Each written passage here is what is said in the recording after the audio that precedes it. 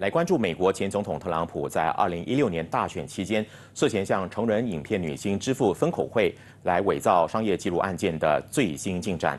纽约法庭星期四驳回了特朗普撤销控状的诉求，并责定案件在下个月二十五号开审。特朗普炮轰对他的起诉有政治动机，目的是让他为官司忙碌，无暇进行竞选活动。So instead of being in South Carolina and other states campaigning, I'm stuck here. It's an election interference case. Uh, nobody's ever seen anything like it in this country. It's a disgrace. It's a disgraceful situation, actually. And we'll just have to figure it out. I'll be here during the day and I'll be campaigning during the night. Biden should be doing the same thing, but he'll be sleeping.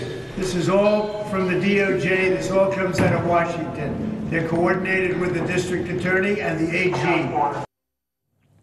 特朗普星期四亲自到纽约法庭应讯之后，在庭外召开记者会时直喊不公平，因为法庭不允许他撤诉，导致他必须困在一座城市受审好几个月，非常荒谬。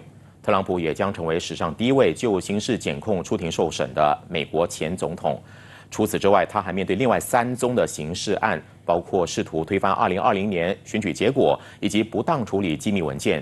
对此，他一概否认到底。